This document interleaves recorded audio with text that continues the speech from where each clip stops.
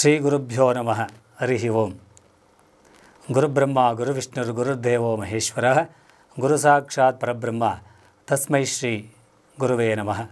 ಶಂಕಾರೂಪೇಣ ಮಚ್ಚಿತ್ತಂ ಪಂಕೀಕೃತಮಬೋಧ್ಯಯ ಕಿಂಕರೀಯಸ್ಯ ಸಾಮಾಯ, ಶಂಕರಾಚಾರ್ಯಮಾಶ್ರಯೇತ್. ಸದ್ಗುರು ಚರಣಾರವಿಂದಾಭ್ಯಾ ನಮಃ. ಸಮಸ್ತ ಶ್ರೀ ಟಿ ವೀಕ್ಷಕರಿಗೆ ನಿಮ್ಮ ಸುರೇಶ್ ಶಾಸ್ತ್ರಿ ಮಾಡುವಂತಹ ನಮಸ್ಕಾರಗಳು. ಎಲ್ಲ ಕಡೆಯಲ್ಲೂ ಗ್ರಹಣ ಅನ್ನುವ ಒಂದು ಭೀತಿ ಉಂಟಾಗಿದೆ. ಈ ರಾಹುಗ್ರಸ್ತ ಚೂಡಾವಣಿ ಸೂರ್ಯಗ್ರಹಣ ನಡೆಯುವುದಾದರೂ ಎಂದು. ಮತ್ತು ಚೂಡಾವಣಿ ಸೂರ್ಯಗ್ರಹಣ ಎಂದರೆ ಏನು? ಈ ಗ್ರಹಣವು ವಿಶೇಷವಾಗಿ ಭಾನುವಾರ ಬಂದಿದೆ. ಜೊತೆಗೆ ಜ್ಯೇಷ್ಠ ಮಾಸದಲ್ಲಿ ಬಂದಿರತಕ್ಕಂಥದ್ದು ವಿಶೇಷ.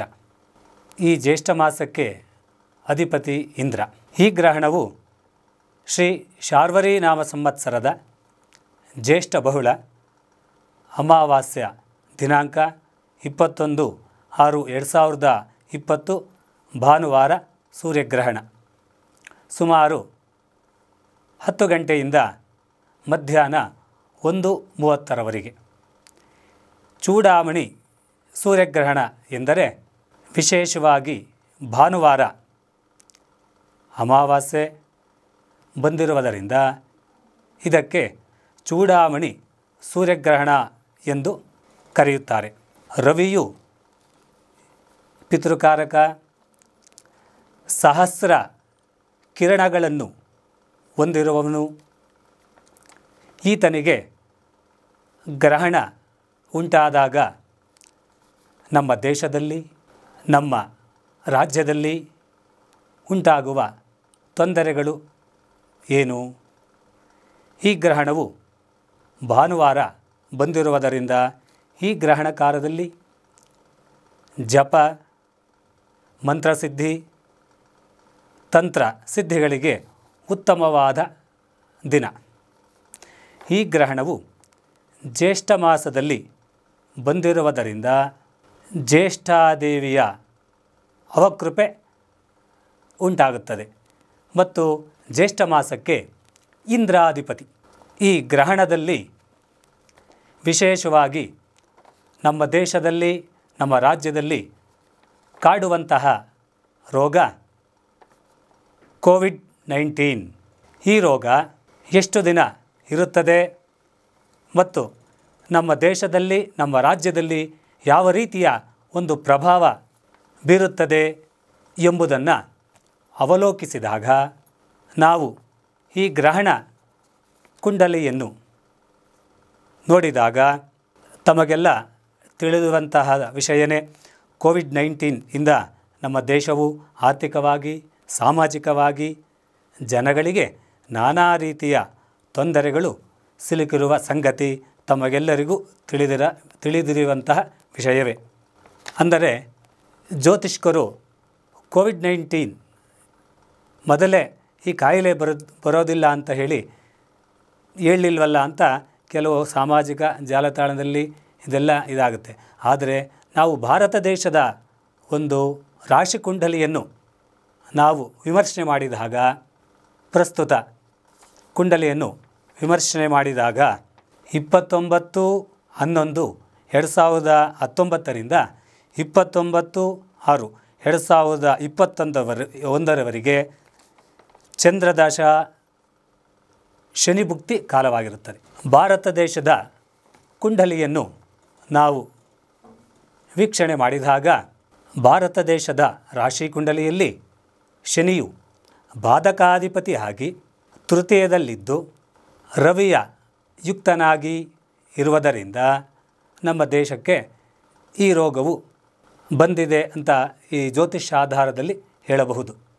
ಆದರೆ ಜ್ಯೋತಿಷ್ಯದ ಪ್ರಕಾರ ರಾಹು ಆರುದ್ರ ನಕ್ಷತ್ರದಲ್ಲಿ ಪ್ರವೇಶ ಮಾಡಿದಾಗ, ಅಂದರೆ ಸೆಪ್ಟೆಂಬರ್ ಎರಡು ಸಾವಿರದ ಹತ್ತೊಂಬತ್ತರಿಂದ ಮೇ ಹತ್ತೊಂಬತ್ತು ಎರಡು ಸಾವಿರದ ಇಪ್ಪತ್ತರವರೆಗೆ ಸೆಪ್ಟೆಂಬರ್ ಎರಡು ಸಾವಿರದ ಹತ್ತೊಂಬತ್ತರಿಂದ ಮೇ ಹತ್ತೊಂಬತ್ತು ಎರಡು ಸಾವಿರದ ಇಪ್ಪತ್ತರವರೆಗೆ ರಾಹು ಆರುದ್ರಾ ನಕ್ಷತ್ರದಲ್ಲಿ ಸಂಚಾರ ಮಾಡುವುದರಿಂದ ಈ ರೋಗವು ಉಲ್ಬಣಗೊಂಡಿದೆ. ಜೊತೆಗೆ ಗುರುವು ಸಹ ಎರಡು ಸಾವಿರದ ಹತ್ತೊಂಬತ್ತು ನವಂಬರ್ನಲ್ಲಿ ವಕ್ರನಾಗಿ ಮಕರ ರಾಶಿಯಲ್ಲಿ ಗುರು ನೀಚನಾಗಿರುವುದರಿಂದ ಈ ರೋಗವು ನಮ್ಮ ದೇಶದಲ್ಲಿ ಮತ್ತು ನಮ್ಮ ರಾಜ್ಯದಲ್ಲಿ ಹೆಚ್ಚಿನ ರೀತಿ ಉಲ್ಬಣಗೊಂಡಿದೆ. ಆದರೂ ಗುರುವು ವಕ್ರಗತಿಯಿಂದ, ಅಂದರೆ ಮಕರ ರಾಶಿಯಿಂದ ಧನುಸ್ಸು ರಾಶಿಗೆ ಇದೇ ತಿಂಗಳು ಇಪ್ಪತ್ತೊಂಬತ್ತನೇ ತಾರೀಕು ಧನುಸ್ಸು ರಾಶಿಗೆ ಪ್ರವೇಶ ಮಾಡುವುದರಿಂದ ಕೋವಿಡ್ ನೈನ್ಟೀನ್, ಅಂದರೆ ಕರೋನಾ ಈ ರೋಗವು ನಿಯ ನಿಯಂತ್ರಣಕ್ಕೆ ಬಂದರೂ ಸುಮಾರು ನವಂಬರ್ವರೆಗೂ ಈ ರೋಗವು ಸಾಧಾರಣವಾಗಿ ಇಳಿಮುಖವಾಗುತ್ತದೆ. ಕಾರಣ, ಮಾಸಾನ ಮಾರ್ಗಶೀರ್ಷೋಹಂ ಅಂತ ಭಗವದ್ಗೀತೆಯಲ್ಲಿ ಹೇಳಿದಂತಹ ವಾಕ್ಯದಂತೆ ಮಾಸದಲ್ಲಿ ಮಾರ್ಗಶಿರ ಮಾಸ, ಪುಷ್ಯ ಮಾಸ. ಅಂದರೆ ಮಾರ್ಗಶಿರ ಮಾಸಕ್ಕೆ ಅಧಿಪತಿ ಮಿತ್ರ, ಪುಷ್ಯ ಮಾಸಕ್ಕೆ ಅಧಿಪತಿ ವಿಷ್ಣು. ವಿಷ್ಣು ರೋಗವನ್ನು ನಾಶ ಮಾಡುವಂತಹ ಶಕ್ತಿ ಉಳ್ಳವನು ಆದ್ದರಿಂದ ಈ ರೋಗವು ಮಾರ್ಗಶಿರ ಮತ್ತು ಪುಷ್ಯಮಾಸದವರೆಗೂ ಇರುತ್ತದೆ. ಆದರೂ ನಮ್ಮ ಭಾರತ ದೇಶದ ಕುಂಡಲಿಯನ್ನು ವೀಕ್ಷಣೆ ಮಾಡಿದಾಗ ಸುಮಾರು ಶನಿ ಭುಕ್ತಿಯು, ಮೊದಲೇ ಹೇಳಿದಂತೆ ಈ ಶನಿ ಭುಕ್ತಿಯು ಇಪ್ಪತ್ತೊಂಬತ್ತು ಆರು ಎರಡು ಸಾವಿರದ ಇಪ್ಪತ್ತೊಂದರವರೆಗೆ ಇರುವುದರಿಂದ ಈ ರೋಗವು ಸುಮಾರು ಅಲ್ಲಿವರೆಗೂ ಉಂಟಾಗುವಂತಹ ಸನ್ನಿವೇಶ. ಆದರೂ ಕ್ರಮವಾಗಿ ಈ ರೋಗವು ಕಮ್ಮಿ ಆಗಲಿದೆ.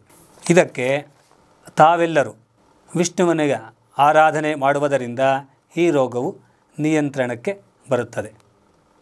ಪ್ರತಿಯೊಬ್ಬರು ಪ್ರತಿ ಮನೆಯಲ್ಲೂ ವಿಷ್ಣು ಸಹಸ್ರನಾಮ ಪಠನೆ ಸಾಧ್ಯವಾದರೆ, ಮಾಡಿ ಇಲ್ಲವಾದರೆ ವಿಷ್ಣು ಸ್ಮರಣೆ ಮಾಡುವುದರಿಂದ ಈ ರೋಗವು ಕ್ರಮೇಣವಾಗಿ ಕಮ್ಮಿಯಾಗಲಿದೆ ಈ ಗ್ರಹಣದಿಂದ ನಮ್ಮ ದೇಶದಲ್ಲಿ ಆರ್ಥಿಕ ಮತ್ತು ರಾಜಕೀಯ ಬದಲಾವಣೆಗಳೇನು? ಈ ಗ್ರಹಣವು ಮಿಥುನ ರಾಶಿಯಲ್ಲಿ ಆಗುವುದರಿಂದ ಅದು ವಾಯುತತ್ವ ಸಿಂಹಲಗ್ನದಲ್ಲಿ ಆಗುವುದರಿಂದ ಅದು ಅಗ್ನಿತತ್ವ. ಸಿಂಹಲಗ್ನ ಮತ್ತು ಕನ್ಯಾ ಲಗ್ನ ಎರಡು ಲಗ್ನಕ್ಕೂ ಗ್ರಹಣ ಗೋಚರ ಆದವರ ಆದ್- ಆಗು, ಆಗುವುದರಿಂದ ಅದು ಭೂಮಿ ತತ್ವ ಈ ಗ್ರಹಣವು ಭಾರತ ದೇಶದ ಕುಂಡಲಿಯ ಹನ್ನೆರಡನೇ ಮನೆಯಲ್ಲಿ ಚಂದ್ರ ಇರುವುದ, ಇರುವುದರಿಂದ ಈ ಗ್ರಹಣವು ಭಾರತ ದೇಶದ ರಾಶಿ ಕುಂಡಲಿಯಿಂದ ಹನ್ನೆರಡನೇ ಮನೆಯಲ್ಲಿ ಚಂದ್ರ ರವಿ ಇರುವುದರಿಂದ ವಿಶೇಷವಾಗಿ ಜ್ಯೇಷ್ಠ ಮಾಸದಲ್ಲಿ ಆಗಿರುವಂತಹ ಸೂರ್ಯಗ್ರಹಣ. ಜ್ಯೇಷ್ಠ ಮಾಸಕ್ಕೆ ಜ್ಯೇಷ್ಠಾದೇವಿ ಆಧಿಪತ್ಯ ಮತ್ತು ಇಂದ್ರನ ಆಧಿಪತ್ಯ. ಜ್ಯೇಷ್ಠಾದೇವಿ ಎಂದರೆ ಅಲಕ್ಷ್ಮಿ. ಅಲ್ಲೇ ಹೇಳಿದಾಗೆ ಅಲಕ್ಷ್ಮಿ ಅಂದರೆ ಲಕ್ಷ್ಮಿ ಅಲ್ಲ ಅಂತ.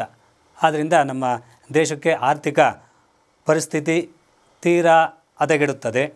ವಾಯುತತ್ವದಲ್ಲಿ ಗ್ರಹಣ ಆದ್ದರಿಂದ ದೇಶದಲ್ಲಿ ಅನಾರೋಗ್ಯ ಮತ್ತು ವಾಯು ಮಾಲಿನ್ಯ ಹೆಚ್ಚಾಗುತ್ತದೆ.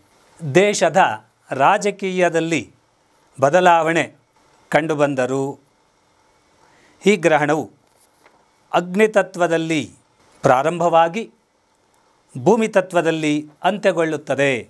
ಈ ಗ್ರಹಣವು ಅಗ್ನಿತತ್ವದಲ್ಲಿ ಅಂದರೆ ಅಗ್ನಿ ತತ್ವ ಲಗ್ನದಲ್ಲಿ ಸಿಂಹಲಗ್ನದಲ್ಲಿ ಪ್ರಾರಂಭವಾಗಿ ಸಿಂಹಲಗ್ನ ಅಗ್ನಿ ಅಗ್ನಿತತ್ವ ಕನ್ಯಾ ಲಗ್ನದಲ್ಲಿ ಅಂತ್ಯಗೊಳ್ಳುತ್ತದೆ. ಕನ್ಯಾ ಲಗ್ನ ಭೂಮಿ ತತ್ವ.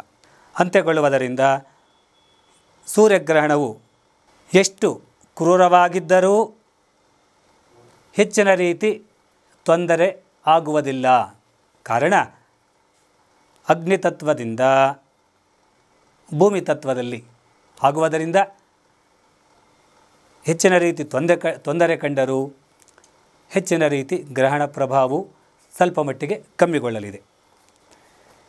ಮೊದಲೇ ಹೇಳಿದ ಹಾಗೆ ನಮ್ಮ ದೇಶದಲ್ಲಿ ಇಪ್ಪತ್ತೊಂಬತ್ತು, ಹನ್ನೊಂದು, ಎರಡು ಸಾವಿರದ ಹತ್ತೊಂಬತ್ತರಿಂದ ಇಪ್ಪತ್ತೊಂಬತ್ತು ಆರು, ಎರಡು ಸಾವಿರದ ಇಪ್ಪತ್ತೊಂದರವರೆಗೆ ಚಂದ್ರದಶ ಶನಿ ಭುಕ್ತಿ ಕಾಲವಾಗಿರುತ್ತದೆ.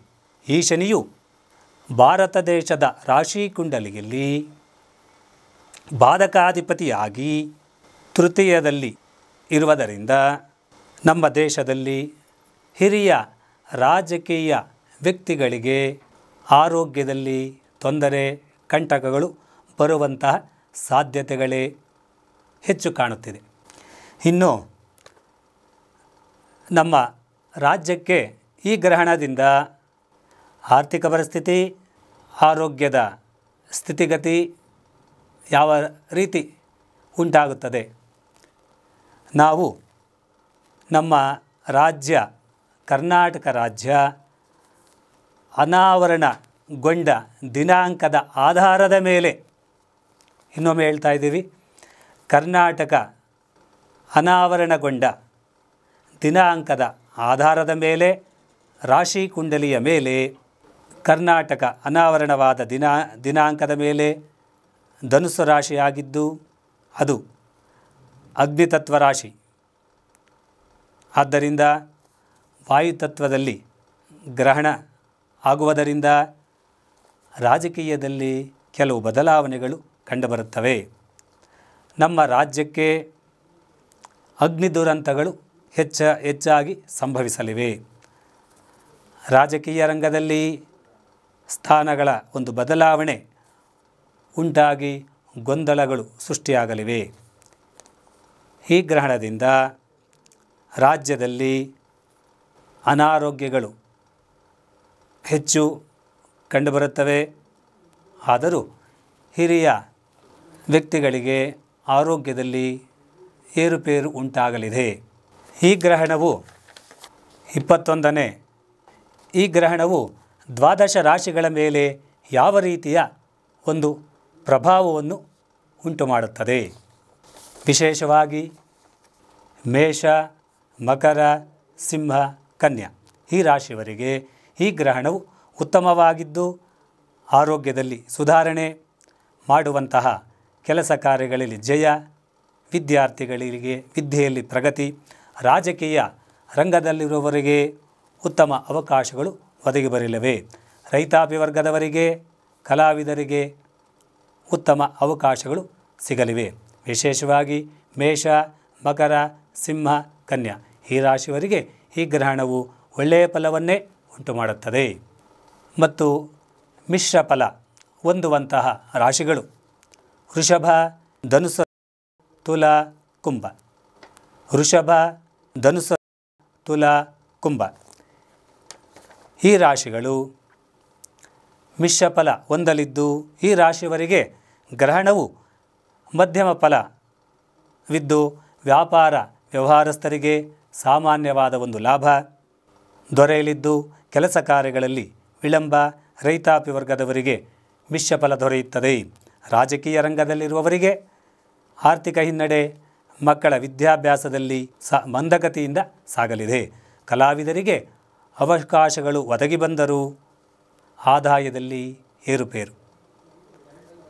ಈ ನಾಲ್ಕು ರಾಶಿಯವರಿಗೆ ವೃಷಭ, ಮಿಥುನ, ತುಲ, ಕುಂಭ ಈ ರಾಶಿಯವರಿಗೆ ಮಿಶ್ರಫಲ ಇನ್ನು ಅಶುಭ ಫಲ ಹೊಂದುವಂತಹ ರಾಶಿಗಳು ಮಿಥುನ, ಮೀನ, ವೃಶ್ಚಿಕ, ಕರ್ಕಾಟಕ. ಈ ರಾಶಿಯವರಿಗೆ ಈ ಗ್ರಹಣದಿಂದ ಅಶುಭ ಫಲಗಳೇ ಹೆಚ್ಚು. ವ್ಯಾಪಾರ ವ್ಯವಹಾರದಲ್ಲಿ ನಷ್ಟ, ಆರೋಗ್ಯದಲ್ಲಿ ತೊಂದರೆಗಳು, ಕೆಲಸ ಕಾರ್ಯಗಳಿಗೆ ಅಡ್ಡಿ, ರಾಜಕೀಯ ಕ್ಷೇತ್ರದಲ್ಲಿ ಇರುವವರಿಗೆ ಹಿನ್ನಡೆ ರೈತಾಪಿ ವರ್ಗದವರಿಗೆ ಅತೀ ನಷ್ಟ ಕಲಾವಿದರಿಗೆ ಅವಶ ಅವಕಾಶಗಳೇ ಇರುವುದಿಲ್ಲ. ಕಾರ್ಮಿಕ ವರ್ಗದವರಿಗೂ ತೊಂದರೆ. ಇನ್ನು ವಿಶೇಷವಾಗಿ ತೀವ್ರವಾಗಿ ಗ್ರಹಣಕ್ಕೆ ಪ್ರಭಾವವಾಗುವಂತಹ ರಾಶಿ ಮತ್ತು ಲಗ್ನಗಳು. ಮೃಗಶಿರ ನಕ್ಷತ್ರ, ಆರ್ದ್ರ ನಕ್ಷತ್ರ ಮತ್ತು ಮಿಥುನ ರಾಶಿಯವರು ಸಿಂಹ ಕನ್ಯಾ ಲಗ್ನದಲ್ಲಿ ಹುಟ್ಟಿದವರಿಗೆ ಈ ಗ್ರಹಣವು ಹೆಚ್ಚಿನ ರೀತಿ ತೊಂದರೆಗೆ ದಾರಿ ಮಾಡಿಕೊಡಲಿದೆ. ಆದರೂ ಗಾಬರಿ ಪಡುವಂತಹ ಅವಶ್ಯಕತೆ ಇಲ್ಲ. ನಿಮ್ಮ ಮನೆಯಲ್ಲಿ ಗ್ರಹಣ ಹಿಡಿದ ನಂತರ ಸುಮಾರು ಹತ್ತು ಗಂಟೆ ಹನ್ನೊಂದು ನಿಮಿಷದಿಂದ ಸುಮಾರು ಒಂದು ಗಂಟೆ ಮೂವತ್ತು ನಿಮಿಷದವರೆಗೆ ಈ ಗ್ರಹಣ ಅವಧಿ ಆಗಿರುತ್ತದೆ.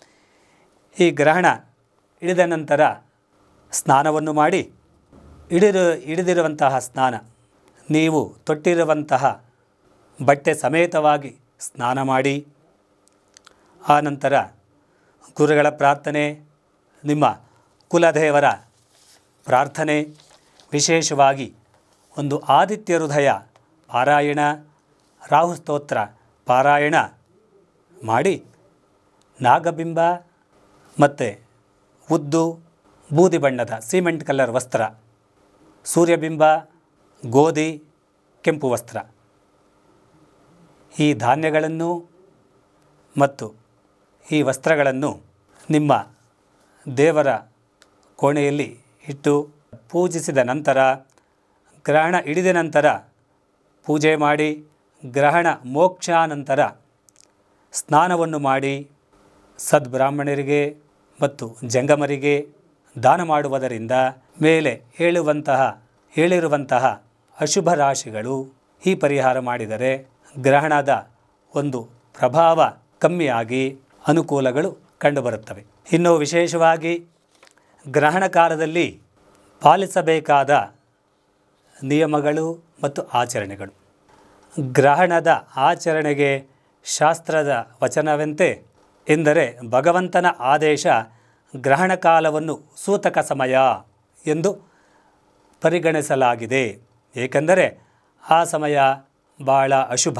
ಗ್ರಹಣ ಆರಂಭ ಅಂತ್ಯಗಳಲ್ಲಿ ಸ್ನಾನವನ್ನು ಮಾಡಲೇಬೇಕು. ಗ್ರಹಣ ಆರಂಭದಲ್ಲಿ ಮಾಡುವಂತಹ ಸ್ನಾನದಿಂದ ಜಪ, ಪಾರಾಯಣ, ದಾನಗಳಿಗೆ ಮಾತ್ರ ಅಧಿಕಾರ. ಊಟ ಉಪಚಾರಿಗಳಿಲ್ಲ. ಸೂರ್ಯಗ್ರಹಣ ಸೂತಕವು ಗ್ರಹಣ ಆರಂಭದಿಂದ ಹನ್ನೆರಡು ಹನ್ನೆರಡು ಗಂಟೆಗಳ ಮೊದಲು ಆರಂಭವಾಗುತ್ತದೆ. ಗ್ರಹಣ ಮೋಕ್ಷಕಾಲದ ನಂತರ ಮಾಡುವ ಸ್ನಾನದ ನಂತರ ಈ ಸ್ವತಕ್ಕವು ಮುಕ್ತಾಯವಾಗುತ್ತದೆ. ಗ್ರಹಣ ಕಾಲದಲ್ಲಿ ಯಾವುದೇ ದ್ರವ ಪದಾರ್ಥವಾಗಲಿ ಅಥವಾ ಘನ ಪದಾರ್ಥವಾಗಲಿ ಸ್ವೀಕರಿಸಬಾರದು. ಗ್ರಹಣ ಮೋಕ್ಷಕಾಲದ ನಂತರ ಸ್ನಾನ ಪೂಜೆ ಸಲ್ಲಿಸಿ ಆನಂತರ ಅಡಿಗೆ ಮಾಡಿ ಊಟ ಮಾಡಬೇಕು. ಗ್ರಹ, ಗ್ರಹಣಕ್ಕಿಂತ ಮುಂಚೆ ಮಾಡಿಟ್ಟ ಅಥವಾ ಗ್ರಹಣ ಕಾಲದಲ್ಲಿ ಮಾಡಿಟ್ಟ ಅನ್ನವನ್ನಾಗಲಿ ತಿನ್ನಬಾರದು. ದೇವಾಲಯ ಪ್ರವೇಶ ಹಾಗೂ ದೇವರ ಮೂರ್ತಿಗಳ ಸ್ಪರ್ಶ ಮಾಡಬಾರದು. ಗ್ರಹಣ ಕಾಲದಲ್ಲಿ ಶೌಚಾಲಯ ಬಳಕೆ ಮಾಡಬಾರದು. ಗ್ರಹಣ ಕಾಲದಲ್ಲಿ ಲೈಂಗಿಕ ಸಂಪ್, ಸಂಪರ್ಕ ಯಾವುದೇ ಕಾರಣಕ್ಕೂ ಮಾಡಬಾರದು. ಗ್ರಹಣ ಕಾಲದಲ್ಲಿ ಅಲಂಕಾರವನ್ನು ಮಾಡಿಕೊಳ್ಳಬಾರದು.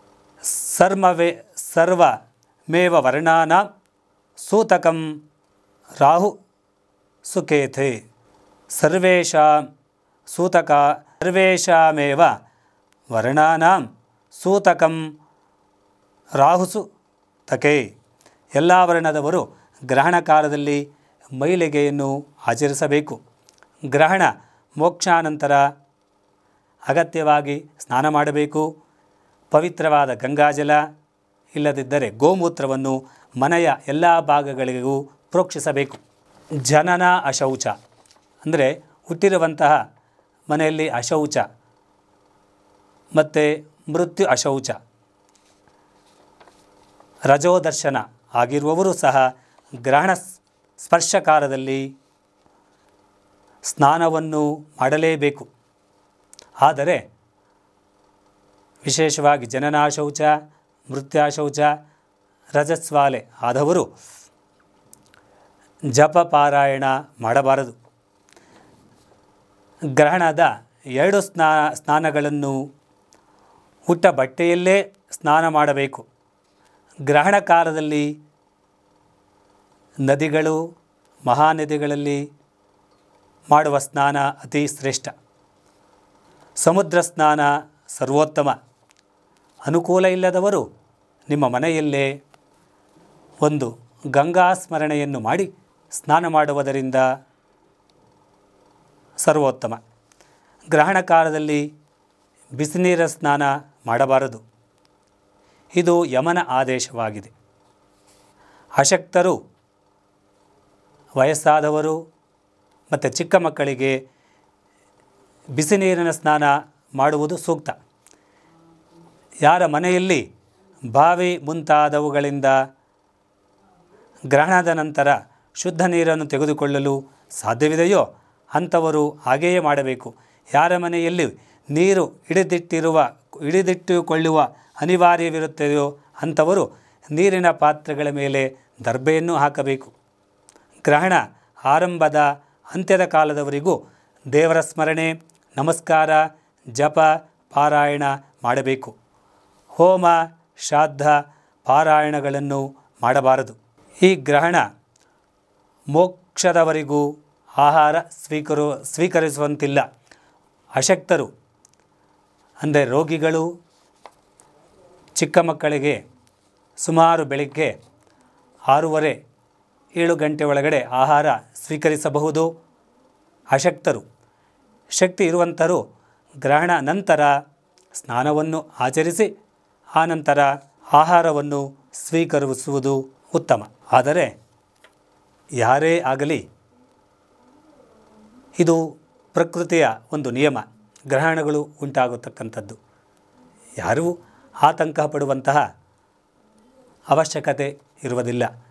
ಎಲ್ಲರೂ ಗ್ರಹಣ ಇಡದ ಕಾಲದಲ್ಲಿ ದೇವರ ಸ್ಮರಣೆ ಮಾಡಿ, ನಿಮ್ಮ ಕುಲದೇವರ ಸ್ಮರಣೆ ಮಾಡಿ, ವಿಷ್ಣು ಸಹಸ್ರನಾಮ ಪಾರಾಯಣ ಮಾಡಿ, ಲಲಿತಾ ಸಹಸ್ರನಾಮ ಒಂದು ಪಾರಾಯಣ ಮಾಡುವುದರಿಂದ ಈ ಗ್ರಹಣದ ಪ್ರಭಾವವು ನಮ್ಮ ರಾಜ್ಯಕ್ಕೆ, ನಮ್ಮ ದೇಶಕ್ಕೆ ಶುಭವನ್ನು ಉಂಟು ಮಾಡುತ್ತದೆ ಆ ಭಗವಂತನು ಸರ್ವರಿಗೂ ಸಮಸ್ತ ಸನ್ಮುನ್ ಸನ್ಮಂಗಳವನ್ನು ಉಂಟು ಮಾಡಲಿ ಎಂದು ಆ ಗುರುಗಳಲ್ಲಿ ಮತ್ತು ಆ ಭಗವಂತನಲ್ಲಿ ಪ್ರಾರ್ಥಿಸುತ್ತಾ, ಓಂ ಸಹನಾಭವತು, ಸಹನೌ ಭುನಕ್ತು, ಸಹ ವೀರ್ಯಂಕರವಾವಹೈ ತೇಜಸ್ವಿನ ವಧೀತಮಸ್ತು ಮಾ ವಿದ್ವಿಷಾವಹೈ, ಓಂ ಶಾಂತಿ ಶಾಂತಿ ಶಾಂತಿ ಸರ್ವೇ ಜನ ಸುಖಿನೋ ಭವಂತು ಸಮಸ್ತ ಸನ್ಮಂಗಳಾನಿ ನಿಭವಂತು ಸಮಸ್ತ ಶ್ರೀಟಿ ವೀಕ್ಷಕರಿಗೆ ಧನ್ಯವಾದಗಳು